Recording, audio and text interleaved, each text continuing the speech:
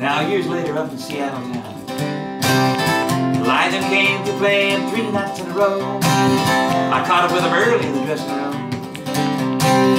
Somehow I just had to let it know So I took out my guitar and I started playing. And I made him up a song to tell it right.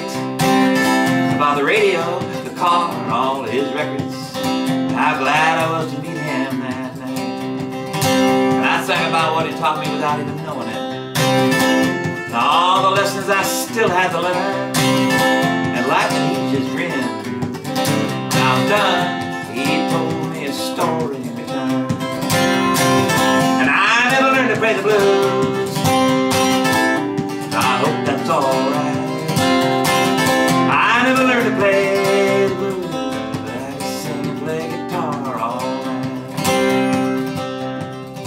said he was walking around the backwoods down in Texas one time. He was only 12 years old. He was carrying his guitar almost as big as he was.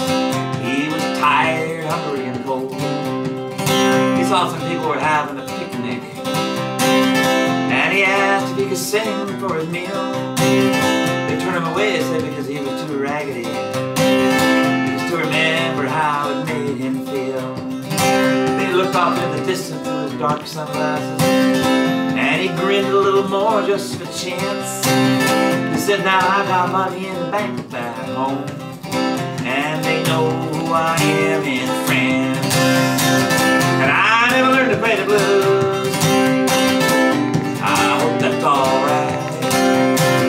I never learned to play the blues, but I can sing with guitar.